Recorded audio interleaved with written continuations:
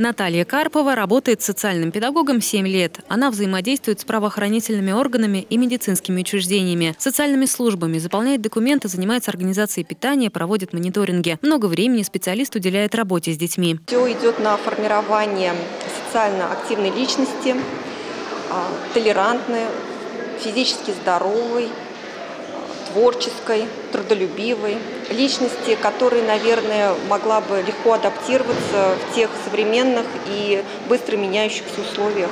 Этот специалист тесно сотрудничает с учителями. Вместе с психологом проводит исследования, организует мероприятия, направленные на адаптацию детей к школе, профилактику асоциального поведения и многое другое. Педагогам, как и другим представителям профессии социальной сферы, свойственно эмоциональное выгорание. Наталье справиться с этим синдромом помогают дети. Когда мы смотрим на детей, на их успехи, то уже, наверное, вот это выгорание все уходит, и радуешься их успехами, и, соответственно, вот эта радость, которую они нам дарят – приносит положительные эмоции. Наталья считает, что хороший социальный педагог должен быть всегда в поиске совершенствоваться в профессии. Сама она постоянно повышает квалификацию, посещает различные курсы и семинары.